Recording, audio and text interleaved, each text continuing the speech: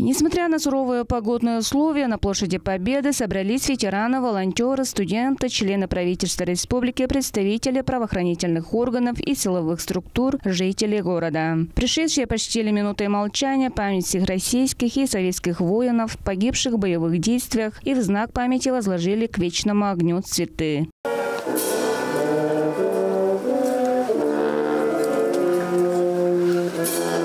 Глава региона Владислав Хавалы, который в четверг вернулся с рабочей командировки с Донбасса, принял участие в митинге, поздравил всех жителей республики с Днем Героев Отечества и отметил, что подвигами героев создается история, выстраивается вектор развития страны.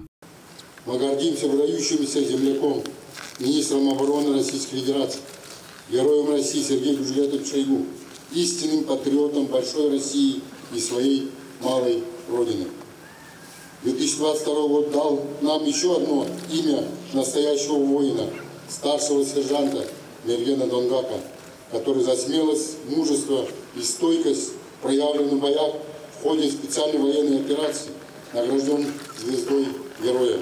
Герои никогда не умирают, герои в нашей памяти живут, рассказывает заместитель председателя Верховного Хурала Республики Виктор Глухов. Это действительно чествование наших героев. И это является нашим хорошим патриотическим уроком для подрастающего поколения. И в целом празднование его, это действительно достойно того, что мы чтим память наших героев.